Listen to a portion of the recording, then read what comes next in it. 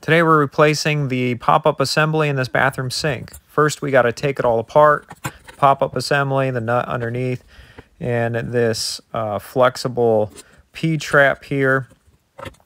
You unscrew it from the top after you unscrew the bolt. And then we got to clean up because we want it to look nice when we're done. This is the new one. Now I use plumber's putty.